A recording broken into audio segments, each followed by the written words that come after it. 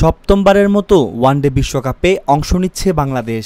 আগের ছয় আসরে তেমন কোনো অর্জন না থাকলেও এবারের আসর নিয়ে বড় স্বপ্নই দেখছেন টাইগাররা। তবে লাল সবুজের বাংলাদেশকে নিয়ে খুব বেশি একটা আশা দেখছেন না ভারতীয় ধারাভাষ্যকার ও ক্রিকেট বিশ্লেষক আকাশ চোপড়া। তার মতে, সাকিবরা সেমিফাইনালে কোয়ালিফাই করতে পারবে না। ক্রিকেটের তিন ফরম্যাটের মধ্যে ওয়ানডেতে বরাবরই শক্তিশালী বাংলাদেশ। পরাশক্তিদের ভিড়ে তিনে থেকে আইসিসি ওয়ানডে সুপার লিগ শেষ করে সে প্রমাণ দিয়েছিল টাইগাররা। তবে চলতি বছর ঘরের মাঠে ইংল্যান্ড, আফগানিস্তান ও নিউজিল্যান্ডের বিপক্ষে সিরিজ হেরে কিছুটা হতাশ হয়েছে লাল সবুজের প্রতিনিধিরা।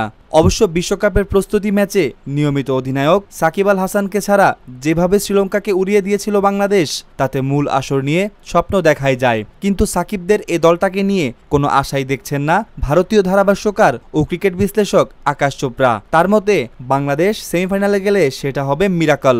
নিজের ইউটিউব চ্যানেলে দেওয়া এক ভিডিওতে আকাশ চোপড়া বলেন, এই বাংলাদেশ দল কতদূর যাবে?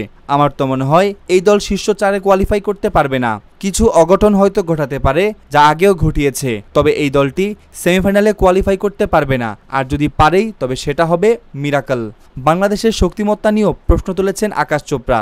যদিও সাকিব ও মেহেদি হাসান মিরাজের প্রশংসা করে তিনি বোলিং ইউনিটেরও প্রশংসা করেছেন।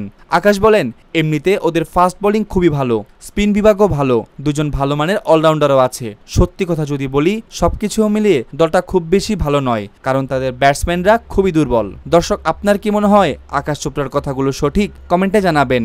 এ ধরনের ভিডিও পেতে আমাদের চ্যানেলটিকে সাবস্ক্রাইব করে সঙ্গে থাকার অনুরোধ রইল।